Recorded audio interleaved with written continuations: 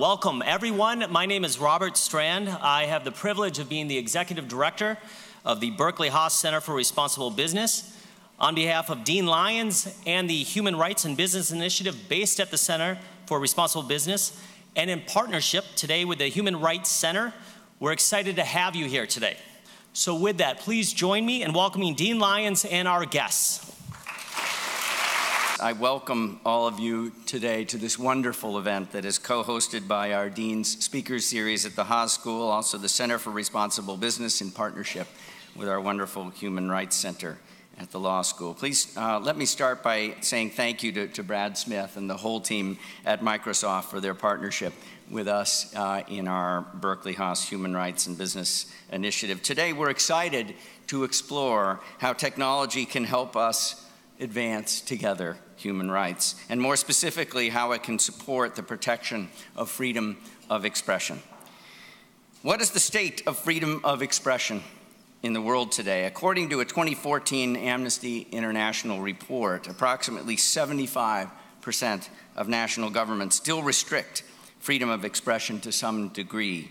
Furthermore, the 2017 World Press Freedom Index pointed to a surge in the number of countries where media freedom is at risk, especially in countries with dictatorships and totalitarian regimes, but also in areas where war and chaos prevail. You might be tempted to think that this is a them, not us situation, but how do you think the US ranks on this index? It ranks number 43, happens to be between Burkina Faso and Comoros, and down by two positions since 2016. Recent public statements, such as the ones that label the press as counter to America's interests, will probably further weaken our position in these types of rankings. I used the word our. I realize the US doesn't describe everybody in the room as our. Although the US ranks lower than one might expect, Americans are generally more supportive of free speech than any other country. 71% of Americans believe that people should be allowed to say what they want, citing the U.S.'s First Amendment. But being supportive of freedom of expression does not translate into support for hate speech. Recent events in Charlottesville have brought hate speech to the forefront of our nation's conscience and have reignited calls for censorship. Yet the right balance, of course, can be hard to find for key actors such as governments, businesses, universities, as freedom of expression and censorship are generally opposing forces. At UC Berkeley, the birthplace of the free speech movement, we believe that the public expression of divergent points of view really is fundamental, both to democracy and also to our mission as a university. At the same time, we continue to stand up and support our, our university's principles of community, which firmly state that discrimination and hate will not be tolerated here. The confluence of our history and values makes us a natural epicenter here at Berkeley for continued discussions on this topic. And at Haas, our Human Rights and Business Initiative aims to increase dialogue with business on their role in addressing human rights challenges, including freedom of expression. That brings us to today's discussion. Companies are increasingly being called upon to take a position, to have a point of view on freedom of expression, especially tech companies, of course. New technologies have created uh, new opportunities and platforms for society to express themselves. But these new technologies come with new challenges, including the proliferation of hate speech on social media. Microsoft and the Office of the United Nations High Commissioner for Human Rights recognize these challenges. They are committed to advancing freedom of expression. We are honored to have them with us here today to share their viewpoints and their vision on the roles that business and technology can play in promoting and enhancing human rights. It is now my privilege to introduce our guest speakers and our moderator. Zeid Ra'ad Al Hussein is the sixth High Commissioner to lead the United Nations Office of the High Commissioner for Human Rights and the first Asian, Muslim, and Arab to do so. A veteran multilateral diplomat, the High Commissioner was previously Jordan's permanent representative to the United Nations in New York, as well as Jordan's ambassador to the United States. Brad Smith, Microsoft's president and chief legal officer, leads a team of more than 1,300 professionals working in some 55 countries. Brad is also a vocal human rights advocate most recently speaking out against the government's decision to rescind DACA. Last, let me introduce my colleague, Alexa Koenig, our moderator. Alexa is the executive director of our Human Rights Center at UC Berkeley's School of Law and teaches classes on human rights, international criminal law. She directs the Human Rights Investigations Lab, which trains and works with students to use open source methods to support human rights and advocacy and account accountability. Please join me in welcoming these terrific guests today.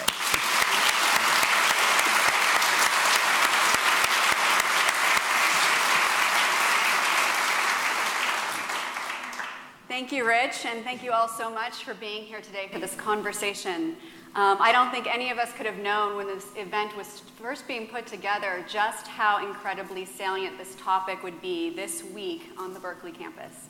And so it's incredibly exciting to have both of you here today to help us think about what's happening at Berkeley, what's happening, happening across this country, and what's happening across the globe. So, my first question I'm hoping you can kind of help set the scene for what is happening around the world and what you're seeing with so many issues going on in the human rights space right now. Why do we need to be talking about freedom of expression? And why is this conversation so important? Um, High Commissioner, if we could start with you. All right. Uh, thank you, Alexa. Uh, Dean, I mean, Rich sort of opened up uh, the point that I would have raised which is the space for dissent is rapidly shrinking. Authoritarianism is on the rise, censorship is on the rise, and as our lives are so connected to the World Wide Web now, uh, where there isn't a daily experience which somehow doesn't uh, embrace this technology and the changing technologies, uh, the traditional forms of censorship uh, have now been exacerbated when two thirds of the users are in uh, countries where uh, repression is rife, authoritarianism is strong.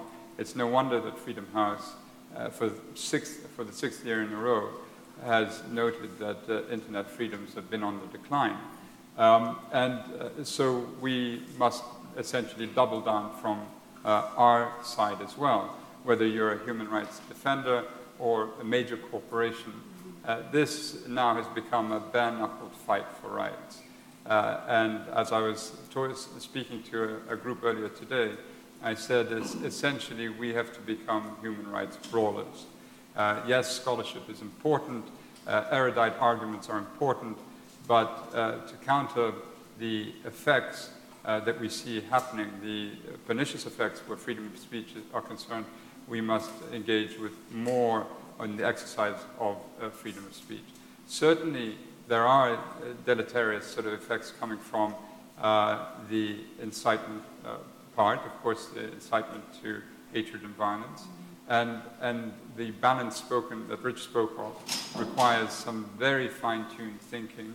And uh, we need to, as uh, the as Haas, who, uh, sorry, Haas Business School is dedicated, we need to continue to deepen the dialogue between major corporations and the human rights community on ensuring that uh, as corporations are expected to engage in the regulatory framework, that they uh, are kept uh, very much uh, in line with human rights, international human rights standards. And, and this is where we think we can do good work to push back on what we see happening in countries where they close down the internet for a week, as Egypt did in 2011, or as we saw in Turkey and Uganda, where the internet was closed down for a period just before elections, or Togo closed down the internet for a period when they felt that young people were activating against the, the government. Those sorts of phenomena we must, we must, uh, we must um, fight against. And I think together, uh, acting together, the major corporations with the human rights community, we can advance this uh, and uh, roll these pressures back. Thank you. And Brad? Well, first, it's wonderful to be here with you and with the High Commissioner and, and with all of you at you know, such an important location at what I think is such an important moment in time. Uh, if you think about the history of free expression, uh, I think uh, that Charles Dickens' words speak so powerfully to us today. This is, I think, quite literally the best of times and the worst of times at the same time. Um, consider the best of times aspect first. Uh, you know, free expression has many definitions, but I think one of the best is in the International Covenant on Civil and Political Rights, where Article 19 defines it basically as the right to seek, to receive, and impart information and ideas of all types. Well, think about the ability to seek information. Has there ever been an invention for the world more powerful than the search engine? We can look at our phone, we can look at our laptop, we can type in a word, and we can seek information from around the world. To receive it, all we have to do is click on a link. One click of a finger brings us to information anywhere in the world. And then think about what it means to impart information, basically to publish it. How many of you have either a Snapchat or an Instagram account? You all have an ability to share information, to publish, to impart information with the world that was not even imaginable just two or three decades ago. So when you think about those dimensions, you might think that we are so fortunate that we live in a golden age of free expression, and indeed, in some ways, we do. But I completely agree with the High Commissioner that we also live in a dark time in many ways as well really because of two different dimensions. This first problem that we have to think every day about is how some people, unfortunately, are using their freedom of expression to create tremendous problems for humanity.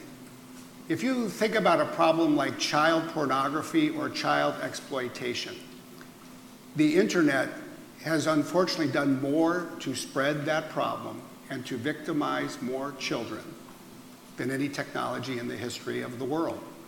If you think about hate speech, if you think about how individuals can go use the ability to seek information to find out how to build a bomb and engage in acts of terrorism, you suddenly appreciate that this golden age has this dark undercurrent, and then we understand why governments of all types understandably worry about it.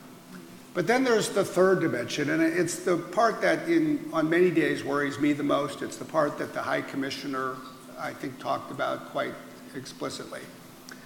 Uh, I think there's two enemies of healthy free expression. The first is propaganda, and the second is censorship.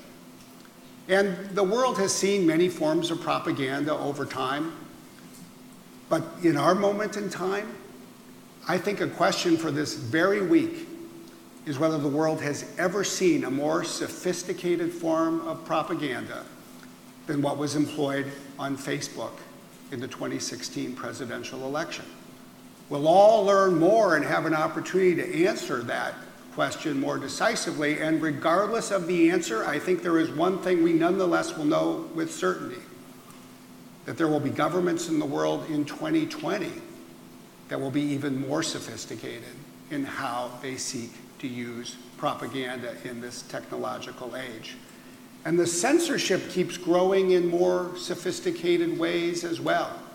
The same machine learning and development of algorithms that can be used to do so many good things can also be used to identify more quickly the political movements that governments may want to repress and the tools that they may want to deploy or force technology companies to deploy to suppress the kinds of expression that most people in virtually all, but not all, parts of the world, most days would agree are protected by Article 19. So we live in an amazing time. And of course, if we're talking about the role of business, because we are talking about technology that is created by business, this is a topic that is inextricably intertwined with business itself. And on the one hand, it's a wonderful time to get up in the morning and go work at a tech company. I think there's few times in history where one could go to work at a business and have a greater opportunity to do good. But there have been few times when the opportunities have also been clouded by issues that are so global and are so challenging. And so, as big as our opportunity to do good may be, I think our responsibility to exercise that power is, in fact, higher still.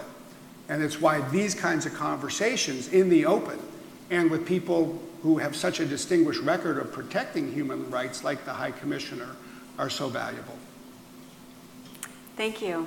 So, picking up on this idea of businesses and what businesses specifically can do, um, Tim Cook of Apple recently stated, and I'm going to read this so I don't misquote him the reality is that government, for a long period of time, has, for whatever set of reasons, become less functional and isn't working at the speed that it once was. And so it does fall, I think, not just on business, but on all other areas of society to step up. So, in light of that quote, I have two commissions or two questions, one for each of you. And starting with Brad, I was wondering if you could speak with us a little bit about what should be the role of business in protecting freedom of expression, and then a little bit more specifically, what is the role of Microsoft in that bigger effort?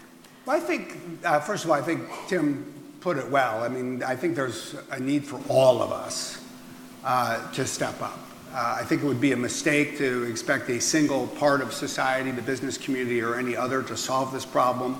And I think it would be almost asking too much in a way that would give you know, one group too much influence or power. Uh, but we clearly have an important role to play. I think our role always needs to be twofold. First, we need to make sure our own house is in order we need to make sure that we're not harming the very causes that we should be protecting or advancing. And so I, I, I think it always has to start with us. What are we doing, for example, ourselves in terms of protecting people's privacy? Uh, we have a lot of data, a lot of very important personal information about people. Are we doing what we should be to safeguard it? Uh, as we're running social media platforms, Microsoft uh, owns LinkedIn as we're deploying a search engine? Uh, are we thinking these things through? As we build data centers around the world, as we do, we have a human rights review. Before we will put the information that belongs to citizens in a data center in a country, we better do a very thoughtful job of considering whether we can protect that from these kinds of abuses. So I think it starts with us. Uh, and you know, we've long been proponents of accepting this responsibility. Uh, we were the first tech company to sign on to the UN Global Compact. Uh, I think people who work at our company are proud of the work we do, and yet I also think it's extraordinarily important to remain humble. The moment you become too proud is likely to be the moment you stop thinking as broadly as you should, and that's when you start making mistakes. So, you know, every day just retain that focus. And then there's the second area, which is how can we use technology as a new tool to better protect human rights? It is a tool that can do great good. So whether it's the work that we've had the opportunity to undertake uh, with OHCHR to use data mm-hmm. to better identify abuses, to better uh, document abuses, to help the UN and other organizations protect people from abuses, whether it's other opportunities to use this technology to capture these abuses. I mean, think about how the debate in this country on the role of race and criminal justice changed. The moment it ceased to be a debate among competing anecdotes pe- based on people's memories about what happened, and instead it came down to a video taken from a smartphone that we were all able to watch together. That is just one slice of the kind of opportunity that we have. And I think you know, doubling down on those opportunities is another part of the types of things that we and many other companies are focused on doing. Thank you. So, for the High Commissioner, I think a natural extension of that question that I asked Brad is then what would be the role of intergovernmental organizations like the United Nations and like your office um, in terms of protecting freedom of expression and the threats that have been raised earlier?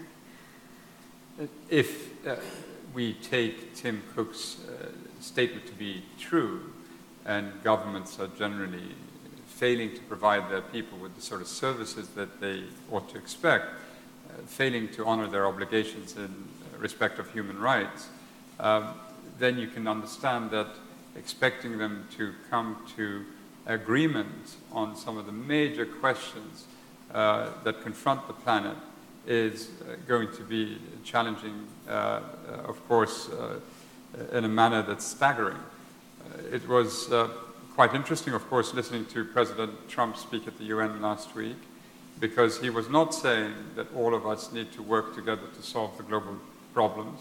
He was saying more or less, uh, all of you countries, go it alone. Um, we, we, you be proud of who you are and uh, embrace a sort of uh, ethno-nationalism, if you will, and uh, invoke sovereignty and go it alone. And uh, for us who work in the intergovernmental space, this clearly isn't the recipe. Uh, I think the world suffered enough from those sorts of injunctions. Um, we can only solve these problems if, as Brad said, it's a combined effort, all in, all hands on deck, with humility, recognizing that, it, it, that our generation are leaving to you uh, a, an impossible situation unless toward the latter part, half of our lives we can uh, leave something that is more manageable for you. In the intergovernmental space, uh, clearly what we need is uh, leadership. Uh, we need uh, corporations and uh, multinational companies, tech companies that have such a huge stake in where the planet basically, in what direction the planet moves in, to combine to create the sorts of uh, understandings we need. For instance, I don't think when Facebook uh, has these teams of uh, uh, they, who would sort of moderate content, basically, or basically our, their job is to sift through the um, through whatever content's on Facebook and then take decisions on moderation. Uh, I don't know to what extent they have expertise in Articles 19 and 20 of uh, the International Covenant on Civil and Political Rights. I don't know if they have exposure to this Rabat formula that we have for the, making a determination when uh, freedom of expression has exited, or we've exited freedom of expression, and we're certainly in the incitement uh, uh, part of the international covenant. Uh, what we need is transparency. We need to know what the criteria are, are and we need to sort of dovetail with um, companies such that if they are going to be the police and judge of these issues. They're a police and judge that are abiding by international standards. And, and that's the point we'd like to reinforce. Thank you. So, speaking of dovetailing with companies, I know there was this announcement recently made that many of you may already know about between Microsoft and the UN Office of the High Commissioner for Human Rights um, around a five year partnership. Mm-hmm. Would you mind both explaining to us a little bit about how that came about and what you're hoping to accomplish with this partnership? Brad. I'll go first. no, I, I am personally very enthusiastic uh, about the opportunity that we have to work together. Uh, you know, the OHCHR started to assess broadly you know, its potential technology uh, needs three or four years ago, and a number of companies you know, provided suggestions. And you know, from my perspective, there's three things that I hope we can accomplish over the next th- five years and beyond because I think all of this is about the rest of our lives and not just you know, a, a, period of time. First, uh, I, I, really do hope that we can find new ways to use technology as a more powerful tool to protect human rights. Uh, I, I, see in so many circumstances where it can change the game. And in many ways, in some places, it already has, but it's done so without a determined strategy um, that has been well resourced in the human rights community and certainly not uh, in the way that the uh, you know, office and the High Commissioner now have the opportunity to pursue. Uh, so one of the initial projects is really around how to uh, equip the United Nations with the kind of big data resources and, and knowledge and techniques that companies and uh, increasingly NGOs are, pursuing. I, I, think there's a lot of good that can come out of that, and I just think there's so many opportunities to keep innovating in that space. Second, uh, there's such an important need for us to have a broad public global discussion about how this technological age in which we live is really changing the kinds of human rights topics themselves. Um, you know, it is the, the new public square, if you will. Um, you know, what does it mean to have a community? What does it mean to give people the, the ability to speak? You know, what does it mean to worry about the problems that come out of hate speech and the like?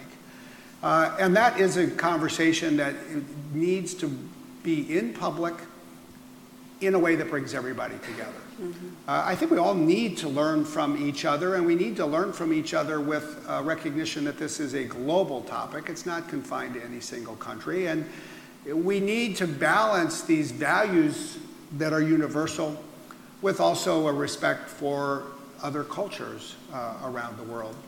And then, frankly, the third thing that got me excited about this is look, I just think the human rights causes of the world need more money.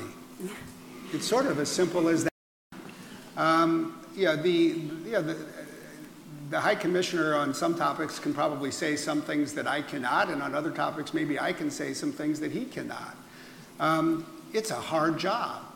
It's a hard job because governments want the High Commissioner for Human Rights to be very vocal, especially when he's poking other governments.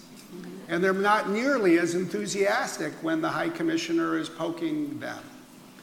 And you know, unfortunately, it's a tried and, and, and it's a tried and true practice uh, of governments since the United Nations was founded, for them to use the threat of cutting off money as a way to influence what the United Nations institutions do. Uh, and I think that the High Commissioner can accomplish more, just as I believe that NGOs can accomplish more if they have more financial resources.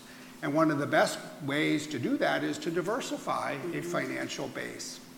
And one needs to be very thoughtful about it. One doesn't want to open up you know, a, a window that leads to other problems or abuses or a loss of confidence. Um, but I happen to be uh, one, and we happen to be a company uh, that believes that a better funded, more diversifiably fi- financed Uh, UN human rights arm is going to be an institution that will do good for the world and protect people, not just their ability to speak, but in some cases, their ability to stay alive. So it sounds like it's both aspirational, but also has a very strong pragmatic base to think Absolutely. about how we move everything forward. High Commissioner, would you like to add to that? Yeah, I mean, I, I agree with Brad. Uh, I mean, technology for us uh, and the advances in technology helps us do our work in a way which hitherto would have been impossible. Last week I was speaking to uh, a very prominent human rights defender in Venezuela. And uh, a few years ago I couldn't have done that. Uh, we use technology to make an assessment uh, in what's happening in Rakhine State, northern Rakhine, regarding what we believe to be ethnic cleansing uh, of the Rohingya population into Cox's Bazar. We use whatever technologies are available. And as Brad said, and, uh, our relationship with Microsoft began uh, a few years ago in terms of uh, analysis of uh, video evidence. The boards of inquiries, the investigations we put together, some now 43, I think, in total, uh, much of it receives video evidence, and that has to be assessed and analyzed. And we began our relationship like that. And then it, it, it has expanded. So we now have this uh, dashboard, rights view, that we're putting together with uh, Microsoft, which will give us a sort of instantaneous picture of the rights situation in any given country across all the different meters. And it's hugely important for us in terms of the advocacy, the poking that uh, we have to do, hard poking sometimes. Mm-hmm. Someone once said, said of us that we are the international nags uh, that don't go away because we just keep nagging on, on countries to do, to do the right thing. We also, though, we uh, paired up uh, uh my office and Microsoft um, on the uh, LGBTI agenda in business. And we uh, applauded Microsoft together with some other corporations, Accenture and so forth, when in Davos we began to have this discussion. Uh, you have to, you know, uh, now Brad and I will be talking later today at the World Economic Forum event, but the World Economic Forum is very conservative when it comes to human rights. In fact, in most business literature, you barely, you rarely ever see human rights. You see talk about all-inclusive economies, they talk about gender empowerment, they talk about persons with disability rights, but human rights, it just is seen as too toxic. And where I think it's so important is that the great work that we've done on this agenda item on LGBTI, and yesterday uh, or two days ago, I was in New York at the Microsoft headquarters in New York, where we launched a, a, a series of standards for how uh, corporations need to approach LGBTI rights plus other rights of their employees and beyond.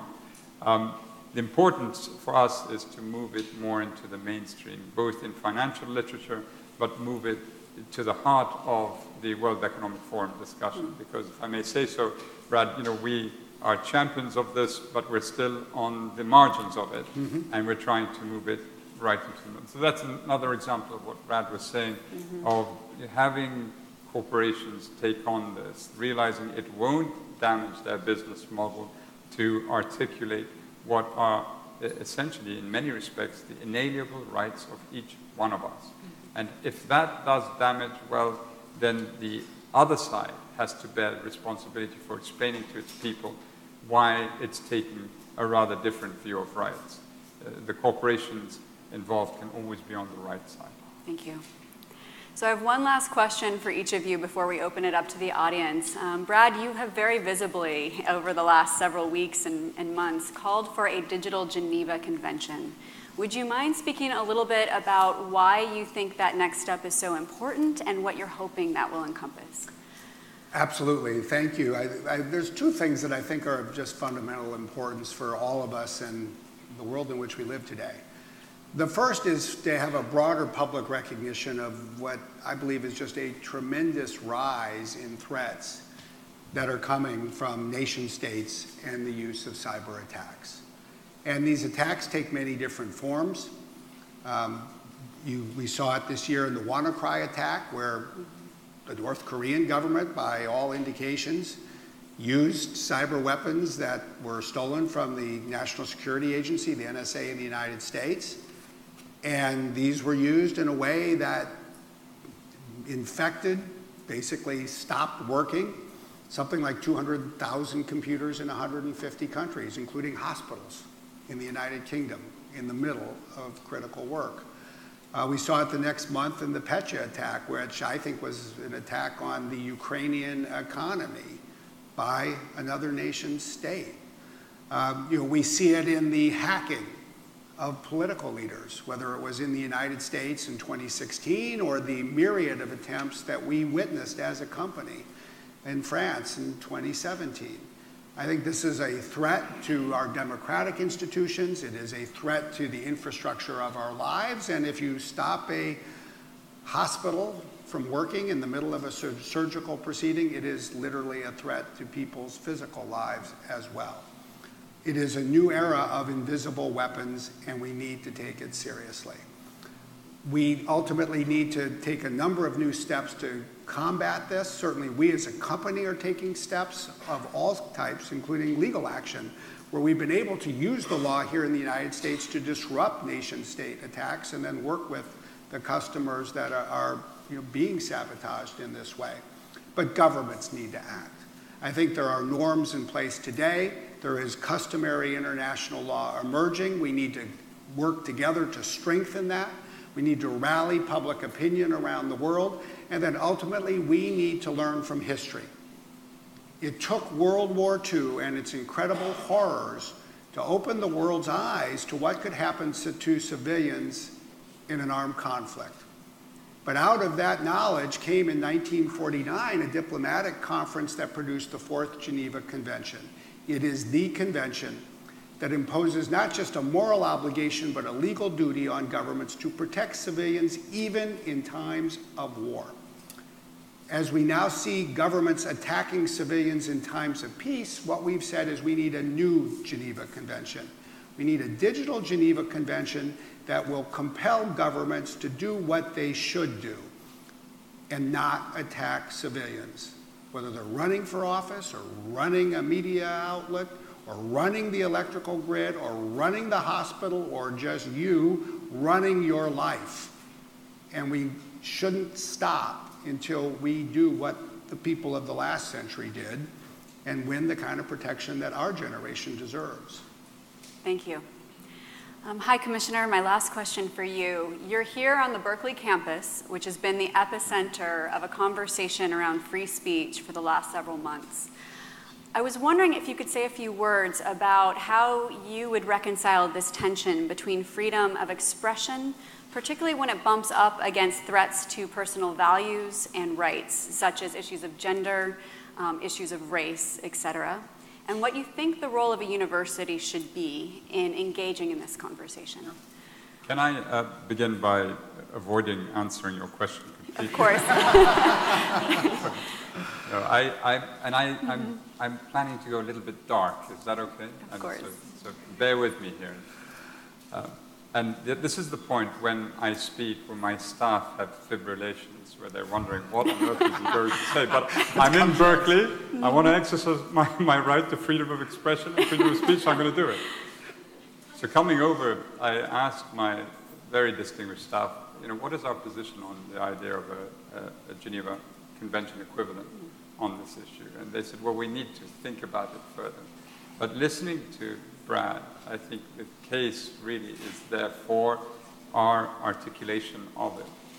Uh, because there's something deeper that worries me greatly.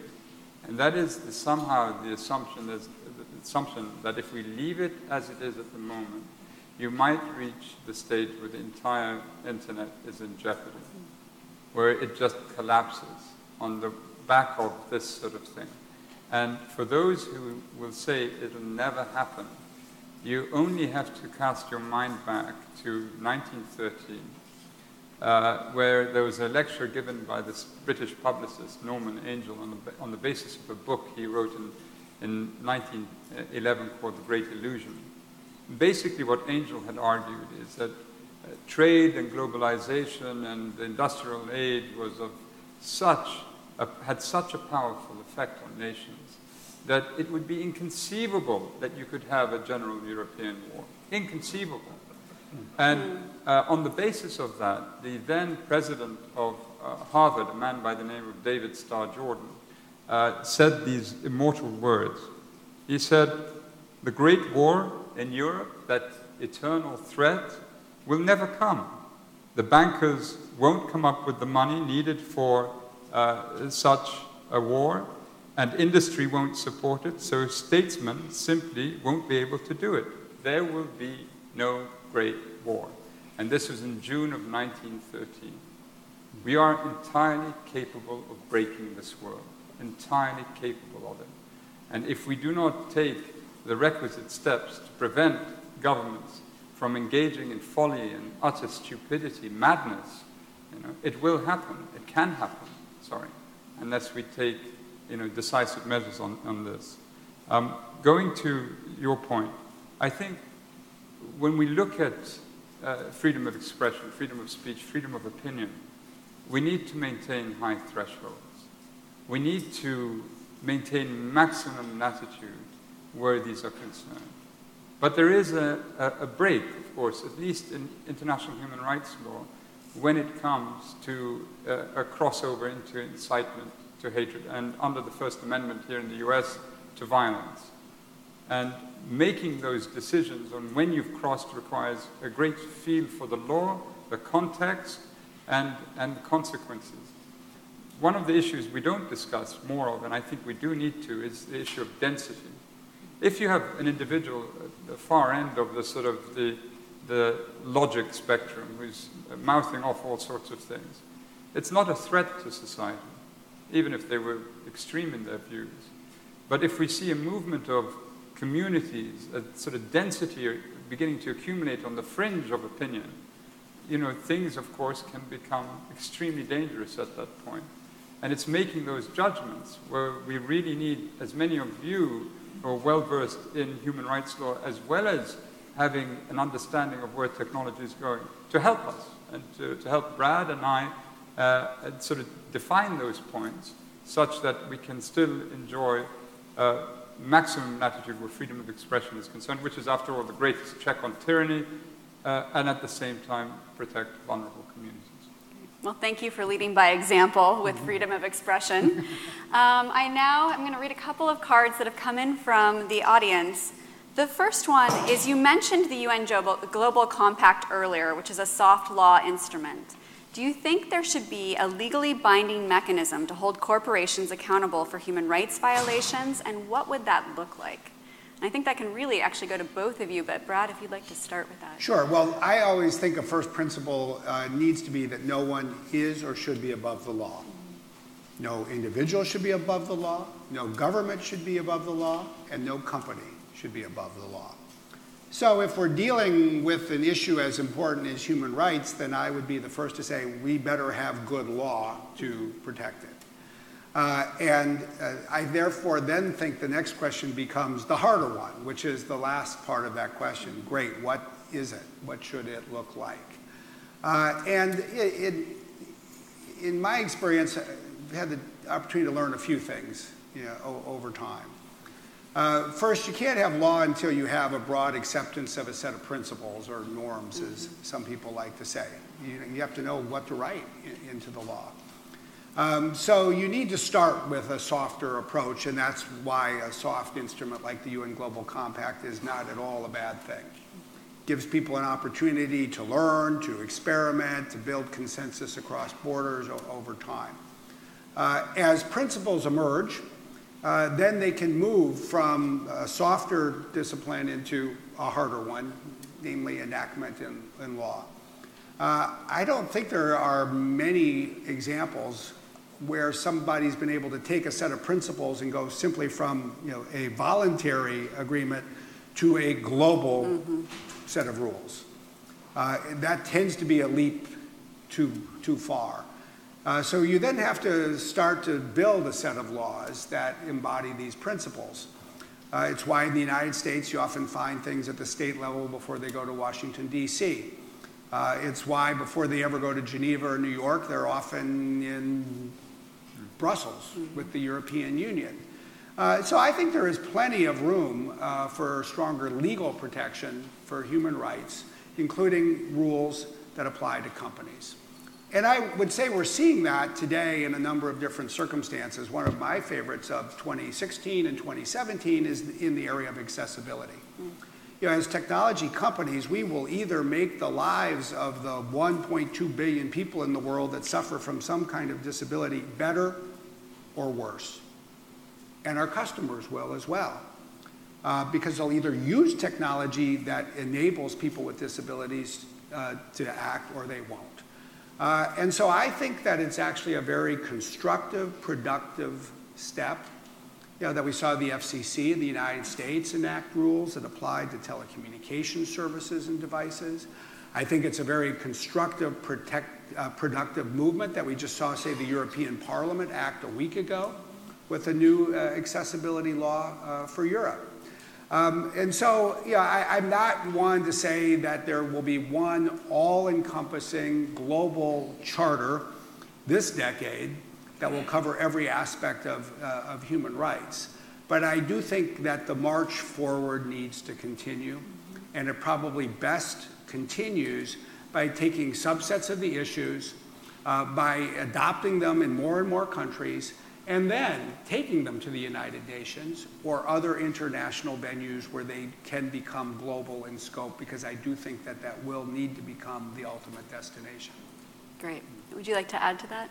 Um, our position on this is that we do have the guiding principles on uh, business and human rights that were elaborated on uh, by Professor John Ruggie at, at Harvard and embraced now by an increasing number of, of major companies, including mm-hmm. Microsoft. And uh, we don't want to see in any exercise uh, devoted to the writing up of an instrument. Uh, not that we're against that, but we don't want to see the guiding principles weakened in such an exercise. So our position is, you know, the guiding principles need to be embraced by a larger, still larger number of of companies around the world. And in the meantime, as Brad was saying, if there's a discussion and it matures to the point where an instrument is needed, you know, so be it, so long as it keeps strengthening uh, the, uh, the work that we're trying to do together. And, um, and there is an initiative led by uh, Ecuador to move in that direction. Our position basically has been one where we're generally silent on it because we, uh, we have no objections so long as the guiding principles are not weakened. And we, uh, we want to continue to encourage more com uh, companies to sign up, for, sign up to them. Thank you. So we were talking before this conversation in the green room a little bit about a next generation coming up and the incredible talents and potential strength of that generation to really make a positive contribution to the human rights space. This next question asks, what do you think the role of business schools and universities more generally um, should be in terms of furthering both freedom of expression and human rights more broadly? And again, I think this is really directed towards both of you, if either of you would like to start. You want to take this one first? All right. But it, it goes to the heart of, if I can go further back, I mean, yes, it's very important. I mean, we have centers for human rights, usually connected to law schools, and uh, some medical schools as well. Uh, but to have them, like it is here, connected to a business school is, is fundamentally important.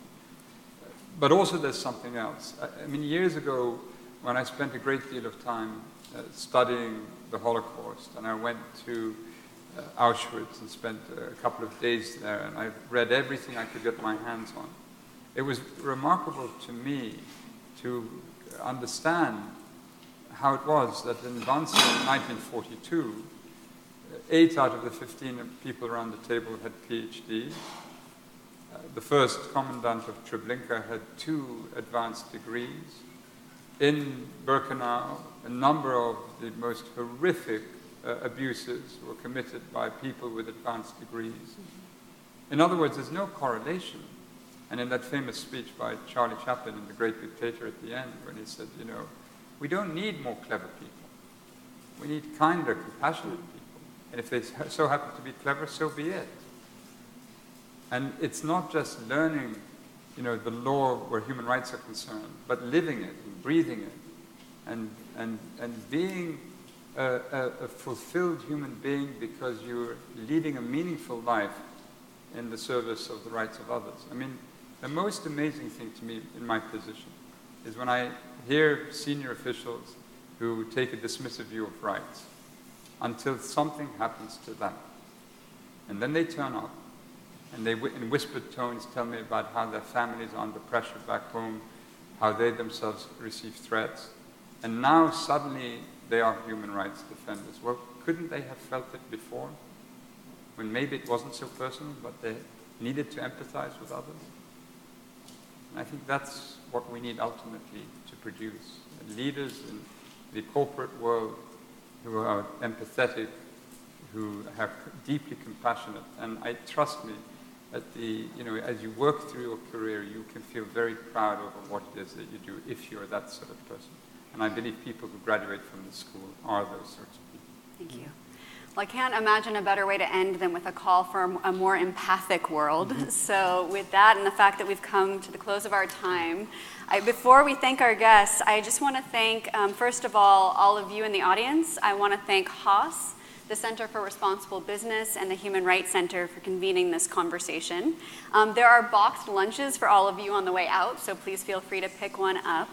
Um, but with that, I'd like to thank both of you so much for your comments today and for your leadership in this space. Please join me in thanking our speakers.